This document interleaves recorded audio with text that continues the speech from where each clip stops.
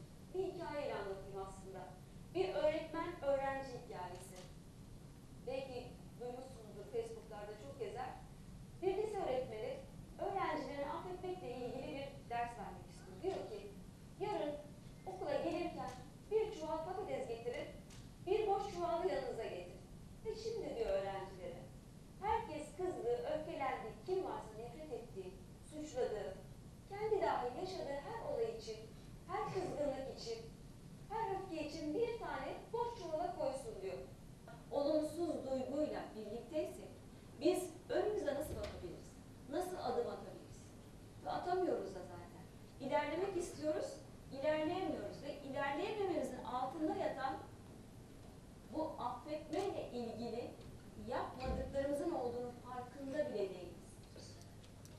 Geceleri gözlerimizi tavana dikeriz bazen. Bugün bana bunu yapmasalardı, keşke şöyle olsaydı, keşke böyle olsaydı diye